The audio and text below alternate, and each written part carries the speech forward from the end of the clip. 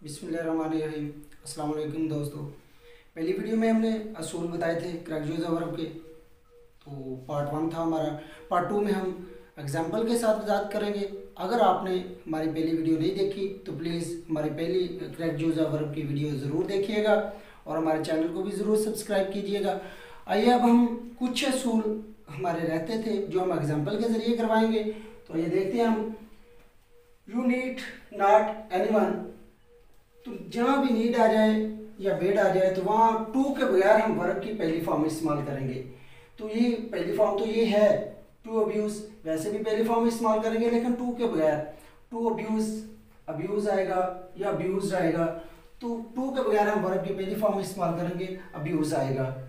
असूल नंबर दो हमारा टॉपिक नंबर दो that I dash the car next afternoon तो पहले हमने पहली वीडियो में ज़िक्र किया था जिस फिक्रे के अंदर नेक्स्ट या टुमारो आएगा, वहाँ विल या शेल यानी प्रेजेंट इंडेफिनेट इस्तेमाल करेंगे। और सॉरी फ्यूचर इंडेफिनेट इस्तेमाल करेंगे। अगले फिक्रे के अंदर है हमारा अनलेस जिस फिक्रे के अंदर अनलेस हो तो दूसरे हिस्से में अगर प्रेजेंट है तो पीछे भी हम प्रेजेंट इस्तेमाल करेंगे।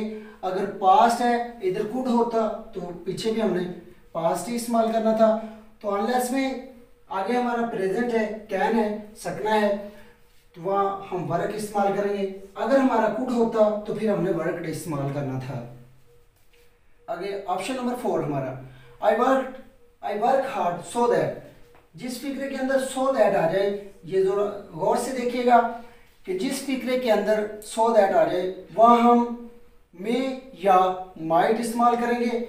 माइट तब इस्तेमाल करेंगे जब हमारा पीछे पास्ट होगा, यानी अगर इधर हमारा वर्कड होता तो तब हमने माइट इस्तेमाल करना था।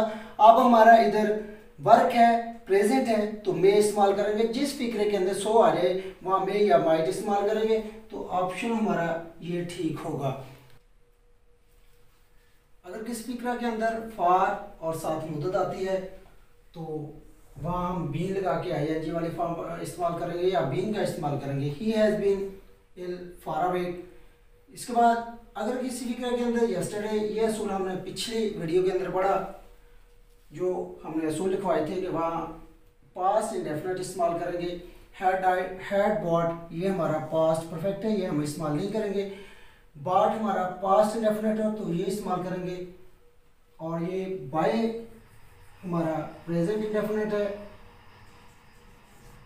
ये हम इस्तेमाल नहीं करेंगे। तो बाट हमारा यहाँ करेक्ट वर्ब में ये ऑप्शन हमारा ठीक होगा। यस्टरडे के अंदर हमने पास्ट इंडेफिनेट इस्तेमाल करना था। We will begin when you dash daddy तो वेन के हमारे दो असूल हैं। जैसे कि हमने आफ्टर और बिफोर वाला पिछली वीडियो में पढ़ा था।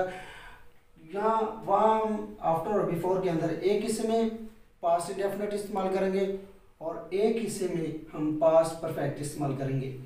इसी तरह इसके अंदर हम एक हिस्से में फ्यूचर इंडेफिनेट इस्तेमाल करेंगे और दूसरे हिस्से में हम प्रेजेंट इस्तेमाल करेंगे। और हमने, यहाँ तो प्रेजेंट हमारा लगा हुआ है तो वैन के दो सूल हैं।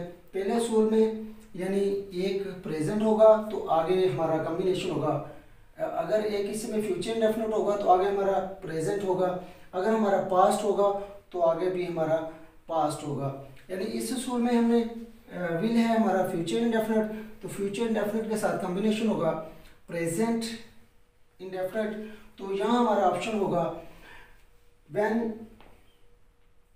number one is number two are number three was तो ये हमारा व्हेन यू आर रेडी एक हिस्से में हमारा प्रेजेंट होगा और एक हिस्से में फ्यूचर डेफिनेट होगा। तो ये वेन का हमारा कम्बिनेशन ये होगा। इसके बाद वर्क हार्ड लेस्ट यू जिस फ़िक्र के अंदर लेस्ट आ जाए, वहाँ हम शुड इस्तेमाल करेंगे। तो ये ऑप्शन हमारा ठीक होगा। He dash bathing in the bowl van van का दूसरा असूल हमारा। पहला असूल तो हमने किया कि एक हिस्से में फ्यूचर इंडेफिनेट और दूसरे हिस्से में प्रेजेंट इंडेफिनेट इस्तेमाल करेंगे। यानी एक में प्रेजेंट और दूसरे में फ्यूचर तो इसी तरीके में वेन में एक हिस्से में पास इंडेफिनेट होगा रैंक ये हमारा पास इंडेफिनेट है, और एक हिस्से में हम वाज या वर लगा के आई एन जी वाली फॉर्म इस्तेमाल करेंगे ही शीट वाद है तो इसके साथ हम वाज लगाएँगे। तो इस हिस्से में भी पास है, उस हिस्से में भी पास है, ये वैन का असूल है। तो आइए हम चलते हैं अगले टॉपिक की तरफ़। किसी फिक्रा में वुड दैट आता है तो वहाँ हम हैड लगा के वर्ग भी तीसरी फॉर्म इस्तेमाल करेंगे। या फिर बार इस्तेमाल करेंगे। यानी हैड लगाकर अगर किसी फिक्रा के अंदर वुड दैट आता है हैड लगाकर वर्ग की तीसरी फॉर्म या बार इस्तेमाल करेंगे। तो would that he dash the match had लगाकर वर्ग की तीसरी फॉर्म दी हुई है मे वन दिया हुआ है या वन दिया हुआ है। तो है लगाकर वर्ग की तीसरी फॉर्म हम इस्तेमाल करेंगे अगर किसी फिक्रा के अंदर वुड दैट आता है। तो ऑप्शन इस, इसी का दूसरा option would that I dash a minister तो अगर किसी फ़िक्र के अंदर वुड दैट आता है, या तो हम वार इस्तेमाल करेंगे, या है लगाकर वर्ब के तीसरी फॉर्म। और ये होगा, दोनों में से कोई एक ऑप्शन वो देगा।